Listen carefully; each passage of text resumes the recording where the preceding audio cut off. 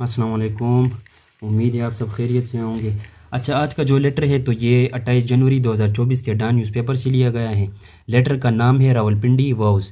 इससे हम ग्रामर सीखने की कोशिश करेंगे। अच्छा वॉज़ कहते हैं परेशानियाँ। तो स्टार्ट करते हैं। The streets in Rawalpindi have been dug open for laying gas pipelines for the last four months. अच्छा सबसे पहले जो हमारे साथ ये स्ट्रक्चर है तो इसको हम कहते हैं प्रेजेंट परफेक्ट। अच्छा प्रेजेंट परफेक्ट। हमेशा याद रखो, ये क्या करता है? ये किसी पास्ट इवेंट को किससे मिलाता है? पास्ट इवेंट को मिलाता है प्रेजेंट के साथ। प्रेजेंट के साथ मिलाता है प्रेजेंट इवेंट के साथ। यानी इसमें हमेशा टू पॉइंट्स होते हैं। प्रेजेंट इवेंट का मतलब है कि इसको कहते हैं स्पीच टाइम यानी अभी जो ये राइटर हैं, ये राइटर नाम नहीं लिखा है, अभी जो ये बात कर रहा है, जिस टाइम ये लिख रहा था तो ये पास्ट इवेंट को प्रेजेंट के साथ मिला रहा था। अच्छा पास्ट इवेंट को आपने जब मिलाना हो तो पास्ट इवेंट जब होता है तो ये हमारे साथ प्रेजेंट परफेक्ट में ये हमारे साथ क्या होता है? ये हमारे साथ इनडेफिनेट होता है। यानी अनस्पेसिफाइड होता है। इस बात को समझो। अनस्पेसि अनस्पेसिफाइड होता है। इसका मतलब ये है कि अनस्पेसिफाइड तो होता है, लेकिन विद इन टाइम फ्रेम होता है। विद इन टाइम फ्रेम इसका क्या मतलब है? इसका मतलब ये है कि इसके साथ जो टाइम एक्सप्रेशन आएगा तो इसके साथ ये आएगा कि फॉर एग्ज़ाम्पल दिस ईयर या दिस वीक दिस वीक ये मसला हो रहा है। मतलब अभी ये वीक चल रहा है। या दिस मंथ वगैरह दिस मंथ इधर लिखो मंथ लिखो दिस ईयर लिखो। तो इस तरह, या दिस सेंचुरी वगैरह जो भी हैं। इस, ये क्यों समझा रहा हूँ? क्योंकि हम हमेशा जो है, हम इसको मैं अभी कनेक्ट करूँगा। किससे कनेक्ट करूँगा? मैं इसको कनेक्ट करूँगा सिंपल पास्ट से। लेकिन पहले मैं आपको क्या करूँ? ये वाला सेंटेंस समझा रहा हूँ। सही है? अच्छा तो ये जो है इनडेफिनेट या अनस्पेसिफाइड टाइम फ्रेम को लेकर प्रेजेंट से मिला रहा है। क्यों मिला रहा है? इसका रीज़न भी ये है कि इसका जो इफ़ेक्ट है पास्ट का पास्ट का जो इफ़ेक्ट होता है इफ़ेक्ट तो हमारा जो प्रेजेंट है इसको इफ़ेक्ट करता है। हमें उससे गरज होता है, इसको इफ़ेक्ट कर रहा है। क्यों ये कह रहे the streets in Rawalpindi have been dug open for laying gas pipelines for the last four months ये कह रहे कि चार मंथ से जो है वो डग ओपन उसकी खुदाई हुई है स्ट्रीट्स की। और किस लिए हुए? क्योंकि गैस पाइपलाइंस को बिछा दें पिछले चार महीनों से। अब इसको समझो। अच्छा इसमें तो ये बिन का इस्तेमाल है तो ये पैसिव वॉइस है। पैसिव वॉइस का है। ये भी समझो। अच्छा इसके, इसको हम इस तरह लिख सकते लिख सकते थे। The streets have dug open कोई मसला नहीं है।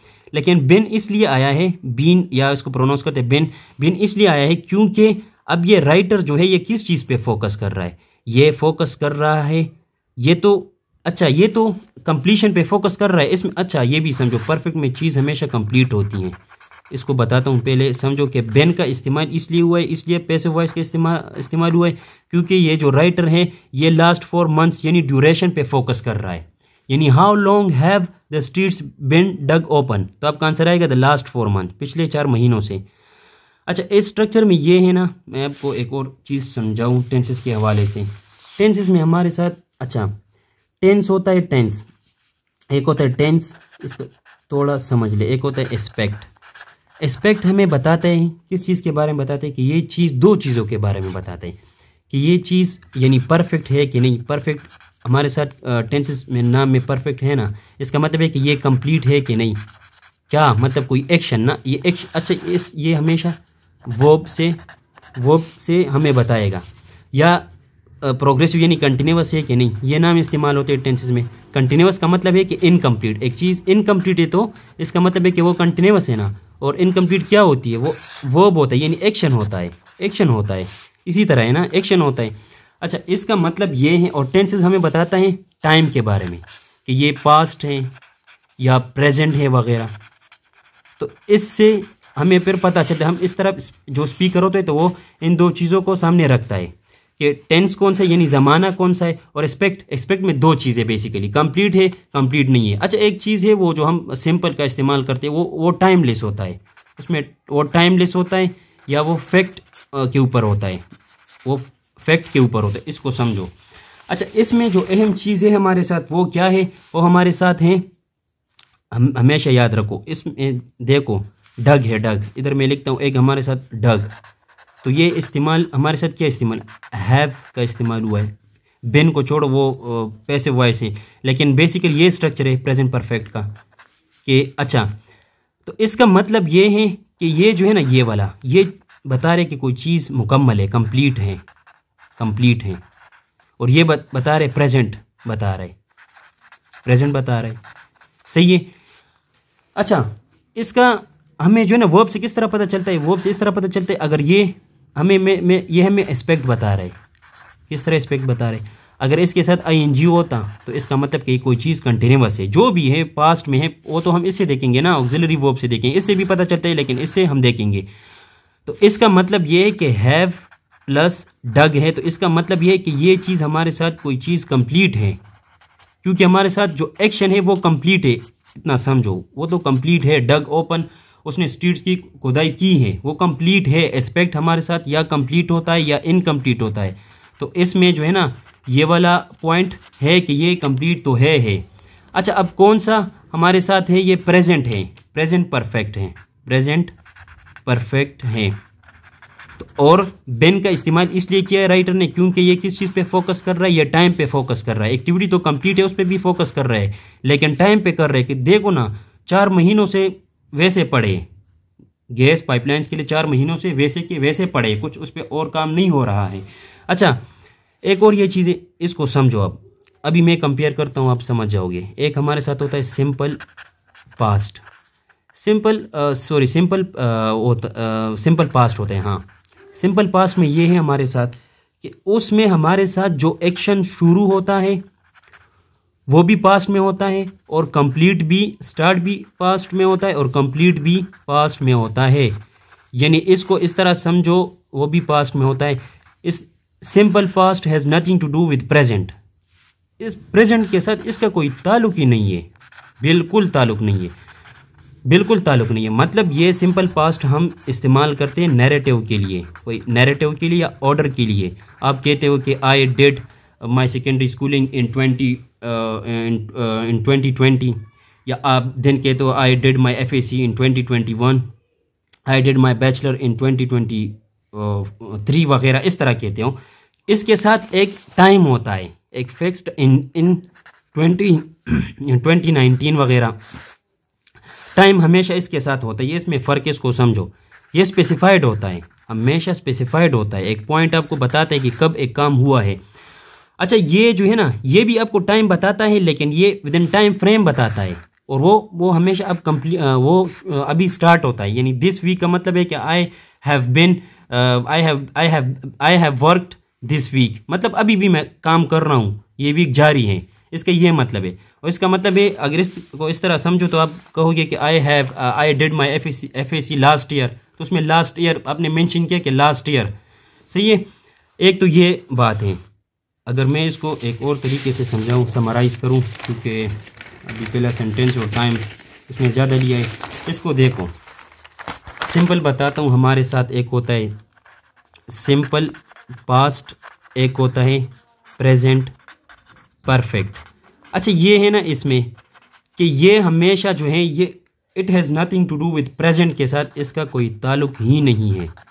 It is just for order आप एक चीज़ को ऑर्डर देते हो, कहानियाँ सुनाते हो, लेकिन अब इस पर तुम प्रेजेंट पे इसका कोई असर नहीं है। ये डिसकनेक्ट है। और इसको ग्रामेरियन लिखते हैं कि ये साइकोलॉजिकली क्या होता है? कनेक्टेड होता है। साइकोलॉजिकली प्रेजेंट के साथ कनेक्ट होता है कनेक्ट होता है। यानी इसका आपके साथ कोई अभी आप पे इसका असर होता है। एक तो ये है और भी हम इस्तेमाल करते लेकिन इस इधर जिस सेंस में इस्तेमाल हुए, इसके बारे में बता रहा हूँ। एक चीज़ रिसेंट हुई है तो आपका असर मतलब आप पे आप इस चीज़ का असर होगा, वगैरह वगैरह। ये हैं, और इसके साथ मैंने बता दिया सिंपल कि कोई काम नहीं है प्रेजेंट के साथ। इसका प्रेजेंट के साथ है। अच्छा अभी आगे देखते हैं। The work is carried out at a snail pace work जो है ना ये तो सिंपल सेंटेंस है कि वर्क कैरिड आउट अभी मतलब हो गया है स्नेल पहले तो ये हुआ था कि अब जो काम मुकम्मल हुआ है वो तो स्नेल पेस मतलब बहुत आराम से हुआ है बहुत स्लोली हुआ है. Causing trouble to the residents of the city ये भी मैंने बताया था. इधर तक तो सेंटेंस कंप्लीट है ना. The work is carried out at a snail pace अच्छा ये कैरिड आउट जो ना ये वोब है. ये इसको फ्रेजल वोब कहते हैं ना. कैरिड के साथ आउट आउट है तो ये मीनिंग देते हैं. तो अच्छा ये भी समझो कि जब आ, वर्बल हमारे साथ कोई फ्रेज हो तो इसके साथ आप जो है ना दूसरा प्रिपोजिशन लगा सकते हो। इधर है ना कैरेड आउट ये असल में कैरेड आउट जो है ना, ये एक ही वो है वर्ड है। तो वैसे दो प्रिपोजिशन साथ नहीं आते ये समझो, दो प्रिपोजिशन जो है ना प्रिपोजिशन वो कभी भी साथ नहीं आते। इसका मतलब है कि जो पिछला वाला प्रिपोजिशन है आउट के कैरिड के साथ है। ये फिर आपको एक मीनिंग देता है। आपने वैसे देखा होगा ना, पैसे वॉइस में आखिर में प्रीपोजिशन एट आता है ऑफ़ आता है। ये इसलिए कि वो, उसमें क्या होते हैं वर्बल फ्रेजेस वगैरह होते हैं। ये भी एक कॉन्सेप्ट है, इसमें समझ समझ लो। अच्छा तो ये कहते हैं कि काम तो बहुत स्लो हुआ, और अभी ये जो है ना, इधर तक सेंटेंस कंप्लीट है। आगे बता रहे causing trouble to the residents of the city causing trouble वही मैंने कहा जरन फ्रेज है, इसको हटा दो। तो तब भी आप क्लियर है, नहीं हट, इसका मतलब है कि एडिशनल इन्फॉर्मेशन दे रहा एडिशनल इन्फॉर्मेशन दे रहा है। अच्छा unreasonable water bills are another problem इसमें जो है ना, हमारे साथ ये बिल्स जो है ना बिल्स ये हमारे साथ, या वाटर बिल्स अच्छा ये इसको कंपाउंड नाउन भी कहते हैं कंपाउंड नाउन इसको समझो इधर। इसको कहते हैं कंपाउंड ये है ना बिल्स तो ये तो ये भी कंप्लीट है कि बिल्स क्या है? Bills are another problem sentence complete है, लेकिन कौन से बिल वाटर के। अच्छा ये भी क्लियर है असल में ये कंपाउंड नाउन है लेकिन ये वर्क करता है एज ए मॉडिफाइंग एडजेक्टिव काम करता है मॉडिफाइंग एडजेक्टिव आप कह सकते हो, लेकिन वैसे यही कंपाउंड नाउन अनरीजनेबल अब ये हमारे साथ एडजेक्टिव है। अनरीजनेबल अनरीजनेबल मतलब है कि उसके बहुत ज़्यादा वो, उसमें कोई लॉजिक नहीं होती, बहुत ज़्यादा बिल्स जाते हैं। आर क्यू आया है सब्जेक्ट वो एग्रीमेंट किसके साथ करेगा एग्री नाउन के साथ, जो कि हमारे साथ प्लूरल है। एनदर प्रॉब्लम ये अनदर प्रॉब्लम ये मेन पॉइंट है ग्रामर के हवाले से। अनदर के बारे में मैंने पिछले वीडियो में बताया, लेकिन इधर जो सेंस है ना, ये अनदर असल में ये दो चीज़ों में बता रहा है, दो चीज़ों में हमेशा याद रखूँ। इसके बहुत से यूज़ है, ये प्रोनाउन भी आता है डिटर्मिनर भी आता है। मैंने पिछले वीडियो में काफ़ी बेस किए इस पर। इधर समझो। ये कहते हैं कि ये तो प्रॉब्लम है है, जो हम, ये जो, क्या है कि ये रोड जो है ना, वो खुदाई हुई हुई है। लेकिन इसके ऊपर क्या है? इसके ऊपर ये है कि बिल्स भी ज़्यादा आ रहे हैं। इनदर मतलब कि वन ऑफ़ टू प्रॉब्लम एक तो ये ना, खुदाई का मसला है, जो डग हुआ है। ये वन बाई टू ये हो गया, और ये बिल्स का वन बाई टू मतलब ये दो चीज़ों का बता रहा है। इसका मतलब है कि दो मसले हैं सिर्फ़। इस, ये राइटर दो मसलों के बारे में बता रहा है। इनदर का ये मतलब है। प्रॉब्लम अच्छा ये है। Those with bigger house pay considerably less amounts than those with small houses ये सिंपल कंपैरिजन है दोज विद बिगर हाउस के साथ जो है ना पे हाउसेज है तो ये पे जो है ना, वो आएगा, वो सिंगुलर आएगा। कंसिडरेबली हमारे साथ है एडवर्ब क्योंकि लेस हमारे साथ है एडजेक्टिव और लेस फार वगैरह और अमाउंट्स या अमाउंट्स मतलब है कि बिल्स भी है और भी डिफरेंट काइंड्स के, क्योंकि प्लूरल है ना बिल्स और भी बिल्स वगैरह होंगे। या एक ही सेंस में ले लो, लेकिन प्लूरल है। तो उसने कहा कि कंसिडरेबली लेस किधर गया? Considerably less amounts than those with small houses अच्छा कहते कि पे जो जिसके बड़े घर होते हैं, वो लेस पे करते हैं बिल्स जिसके छोटे घर होते हैं, वो ज़्यादा पे करते हैं। तो इसका ये कंपैरिजन किया है। लेस हमारे साथ है एडजेक्टिव अमाउंट से नाउन ये भी क्लियर है। There has been a lot of encroachment on the state land especially along with Lai nullah अच्छा ये है ना? इसके बारे में मैंने बताया पिछली वीडियो में, लेकिन इधर आए हैं, दोबारा सुन लो। ये है ना, जब भी हमारे साथ आता है, इसको मैं इधर लिख लेता हूँ। अलॉट ऑफ़ आता है अलॉट ऑफ़ या अगर लोट लोट्स ऑफ़ आता है, इसके बाद दो चीज़ें आ सकती हैं हमारे साथ, याद रखो हमेशा। फ़र्स्ट या क्या होगा, हमारे साथ आएगा प्लूरल्स आएँगे। प्लूरल्स आएँगे नाउन्स आएँगे। सही है? यह हमारे साथ आएगा सिंगुलर सिंगुलर अनकाउंटेबल नाउन्स आएँगे। सिंगुलर अनकाउंटेबल नाउन्स आएँगे। सही है? अच्छा आप जो है ना इरिस्पेक्टिव कि ये प्लूरल है, ये सिंगुलर दोनों के साथ ये यूज़ कर सकते हो तो फिर फ़र्क क्या है? फ़र्क इसमें कुछ भी नहीं है। सिर्फ़ आपने किस चीज़ का ख्याल रखना है? इधर नाउन का ख्याल रखना है। अगर नाउन प्लूरल है इधर इसको इग्नोर करो। चलो, मैं इसको इस तरह करता हूँ कि इस चीज़ को आप जो है ना इग्नोर करें। ये ज़्यादा फॉर्मल है और ये जो है ना लेस फॉर्मल है। सिर्फ़ ये, लेकिन कोई मसला नहीं है इसमें। आपने करना ये है कि इसको इग्नोर करो। अगर इधर प्लूरल है सिंगुलर है, लिख लो, कोई मसला नहीं है। लेकिन जो हमारे साथ सब्जेक्ट वो सब्जेक्ट वो एग्रीमेंट आएगा, आपने इसको देखना है। अच्छा तो इसके बाद भी बाज़ आता है, ये क्योंकि हमारे साथ सब्जेक्ट बन जाता है। और इससे पहले भी आता है, अगर इस केस में आया है देयर क्योंकि देर हमारे पास जो है ना देयर हैज़ बिन ये हमारे साथ आप समझो इंट्रोडक्टिव फ्रेज़ है, मैंने इस पर काफ़ी बेस किए पिछली वीडियोज़ में मौजूद है, इसलिए दोबारा इधर रिपीट नहीं कर रहा हूँ। तो ये कह रहे हैज़ क्यों आया है? हैज़ इसलिए आया है हमारे साथ क्योंकि ये इन अलॉट ऑफ़ इंक्रोचमेंट हमारे पास अनकाउंटेबल नाउन है। जब ये अनकाउंटेबल नाउन है तो इधर क्या आएगा? इधर हमारे साथ आएगा सिंगुलर आएगा। मैंने आपको बताया, इधर क्या आएगा? सिंगुलर आएगा। ये ये कॉन्सेप्ट क्लियर है। इधर क्या आएगा? सिंगुलर आएगा।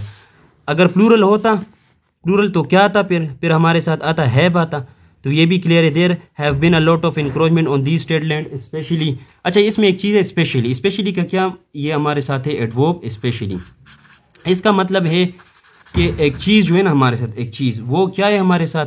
वो हमारे साथ मतलब पर्टिकुलरली आप बता रहे हो पर्टिकुलरली पर्टिकुलरली बता रहे हो या आप क्या कर रहे हो? जनरल से स्पेसिफिक की तरह आ रहे हो जनरल से स्पेसिफिक की तरफ़ आ रहे हो। ये कह रहे हैं कि देखो special there have been a lot of encroachment तो होती है on the state land especially along with nullah ये एलोंग जो आता है ना एलोंग ये समझो कि लाह नुल्ला है कोई इस तरह।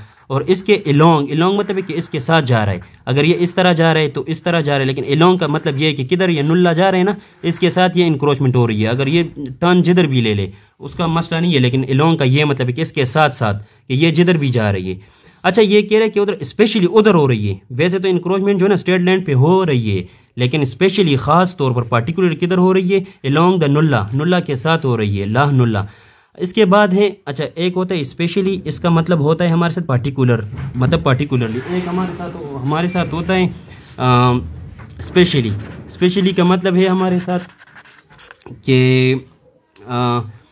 एक एक हमारे साथ होता है स्पेशली एक होता है हमारे साथ स्पेशली इसका ये मतलब है कि आप किसी ख़ास पर्टिकुलर पर्पज़ के लिए कोई काम कर रहे हो पर्टिकुलर पर्पज़ के लिए कोई काम कर रहे हो। तो वो उस सेंस में इस्तेमाल होता है। अच्छा ये कहते इसके बाद है several complaints have been lodged in this regard कि हमने सिवरल कंप्लेंट सिवरल के साथ ये प्लूरल्स आता है। हैव बिन लॉज हमने बहुत है ना, ज़्यादा कंप्लेंट लॉज किए। In the in this regard इस मसले के लिए but no action has been taken by the authorities again देखो नो एक्शन हैज़ बिन ये इसलिए इस्तेमाल कर रहे हैं। इधर तो ये पैसे वाइस हैं बाय द अथॉरिटीज़ ये नो अच्छा ये नो को समझो। नो हमारे साथ होता है नो नो का मतलब है कि नट एनी यानी नट एनी या इसका मतलब होता है नट आ या एन इसका क्या मतलब? नो हम इस्तेमाल करते हैं, इसका मतलब है कि हम एम्फेसाइज कर रहे हैं, किस चीज़ को एम्फेसाइज कर रहे हैं? नेगेटिव थॉट को या नेगेटिव आइडिया को हम क्या कर रहे हैं? एम्फिसाइज कर रहे हैं। मतलब क्या है? क्या कि नो इस, इसके बाद ये हमेशा, चलो इसको लिख लेता हूँ। इसको इधर समझो। नो के बाद हमेशा हमारे साथ आएगा। प्लूरल आएगा। या सिंगुलर भी आ सकता है। कोई मसला नहीं है। सही है? अच्छा इसका मतलब है नट एनी या इसका मतलब है कि नट एनी या नट आ और एन ये हम इस्तेमाल करते हैं नेगेटिव थॉट के लिए नेगेटिव आइडिया के लिए. तो आप इसको इस तरह लिख सकते हो। इसके बाद हमेशा प्लूरल सिंगुलर मतलब नाउन आएगा। हमेशा क्या आएगा? नाउन आएगा। अच्छा तो अब इसको हम इस तरह भी लिख सकते थे but not any action has been taken by the authorities कोई मसला नहीं है। कोई मसला नहीं है। लेकिन फिर क्या होता कि फिर पॉजिटिविटी उसमें होती। नो का मतलब है कि ये एम्फेसाइज कर रहा है कि कोई भी जो है ना एक्शन उस पर नहीं हुआ है। तो ये इसमें था। अच्छा इसमें और क्या है? और कुछ भी नहीं है। बट का से पहले कोमा इसलिए क्योंकि ऊपर भी एक क्लास है इससे पहले और बाद में भी क्लास है, हम लगाते हैं। तो चलो इसको समराइज़ करते हैं। इसमें क्या था? प्रेजेंट परफेक्ट था। मैंने बताया कि प्रेजेंट परफेक्ट जो होते हैं हमारे साथ, वो हमेशा याद रखो। साइकोलॉजिकली कनेक्टेड टू प्रेजेंट वो प्रेजेंट से कनेक्ट होता है। हमेशा याद रखो। सही है? ये है एक बात इसमें। और सिंपल पास्ट का कोई काम ही नहीं है प्रेजेंट के साथ। बिल्कुल कोई काम ही नहीं है। जो भी बात हो ना सिंपल पास्ट में तो उसका मकसद ये है सिंपल पास्ट का कि वो क्या कर रहे कोई कहानी आप सुना रहे ऑर्डर दे रहे हो कोई चीज़ को नरेट कर रहे हो जस्ट उसमें आप तारीख आपको मिलेंगे इन 2019 2020 यस्टरडे लास्ट वीक वगैरह वगैरह। सही है? अच्छा प्रेजेंट परफेक्ट आप तब इस्तेमाल करोगे जब आप जो पास्ट से कोई इवेंट आपको इफ़ेक्ट कर रहा है, आप प्रेजेंट में उसको कनेक्ट करते हो। तो ये चीज़ है अच्छा एक और चीज़ है ना, मैंने तो प्रेजेंट पास्ट कभी पास्ट परफेक्ट का ये होता है पास्ट परफेक्ट का, कि उसमें आप जो है ना, कोई पास्ट वन को पास्ट वन को पास्ट में पास्ट टू से मिला रहे हो, उसका ये कंसेप्ट है। अगर कोई फ्यूचर फ्यूचर परफेक्ट है तो उसका ये मतलब है कि आप प्रेजेंट को प्रेजेंट को किस से मिला रहे हो? फ्यूचर से मिला रहे हो। यानी इसमें हमेशा दो पॉइंट होते हैं। परफेक्ट का मतलब है कंप्लीट ये लेटन वर्ड से निकला, इसका मतलब है कि कंप्लीट कोई एक्शन इसमें हो। तो ये हैं। इसके बाद हमारे साथ था इनदर का मैंने बताया कि इसमें अल्टरनेटिव इसमें सिर्फ़ दो मसले, एक बिल्स का मसला, एक ये डग ओपन जो है हमारे साथ जो खुदाई हुई है। इसके ये इनदर जो है ना, बहुत इंपॉर्टेंट रोल है इसका इधर। स्पेशली का मतलब है कि पार्टिकुलरली ये जनरल से स्पेसिफिक हो रहा है और एक हमारे साथ है स्पेशली स्पेशल स्पेशली का मतलब है कोई ख़ास पर्पज़ के लिए यानी मैं इस वीडियो को जो है ना दिस वीडियो को मैं किस स्पेशल पर्पज़ के लिए बना रहा हूँ कि आप ग्रामर सीख लें ये था इसके बाद हमारे साथ था इसके बाद बस ये जो है ना इसने इसमें ज़्यादातर इसने किस चीज़ का इस्तेमाल किया है पैसिव वॉइस का पैसिव वॉइस का इस्तेमाल किया है साथ में किस चीज़ का प्रेजेंट परफेक्ट का प्रेजेंट परफेक्ट का। और ये भी याद रख लो कि हम हमेशा प्रेजेंट परफेक्ट कंटिन्यूस का पैसिव वॉइस हम बनाते हैं। वो इस तरह होता है हैव बीन बीइंग लेकिन फिर ये होते हैं, वो हम ज़्यादातर इस्तेमाल नहीं करते। तो आज के लिए इतना ही। शुक्रिया।